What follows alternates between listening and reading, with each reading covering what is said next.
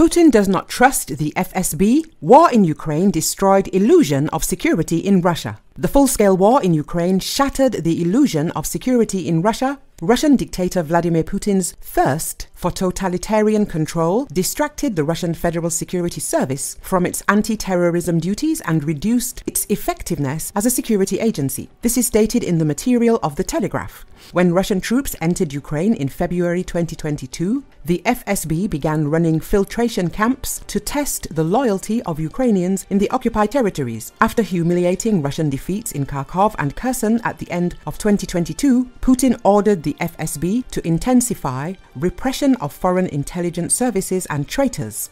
The article notes In the Russian Federation, some activists condemned the reorientation of the FSB. After the attack on the Crocus City Concert Hall near Moscow, Russian journalist Kirill Martynov sharply criticized the FSB for focusing on LGBT extremists and rejecting warnings from Western intelligence agencies that an attack was imminent. Russian opposition activist Ivan Zhdanov said the FSB's obsession with spying on Russians and punishing anti war dissidents had destroyed its effectiveness. Russian state media naturally turned away from this criticism, redirecting public anger towards Ukraine. This allowed the FSB leadership to weather the storm of its repeated intelligence failures and remain unchanged. The FSB's denial of responsibility coincided with escalating complaints in Russia's unprivileged regions where ethnic minorities live. Dagestan is one of the biggest victims of the unequal burden of the Ukrainian war, the material notes. At the beginning of May 2022, Dagestan had the highest level of losses among all regions of Russia. Independent investigations showed that at least 130 Dagestanis died.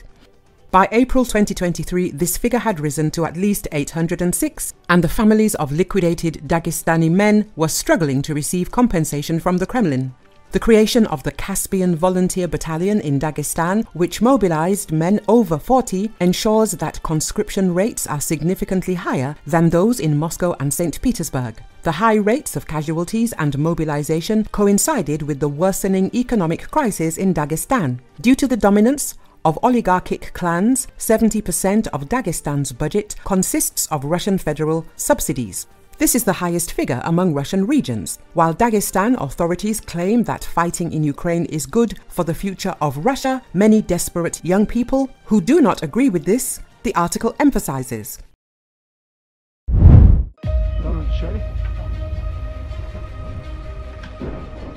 Там, там же. Вот тут.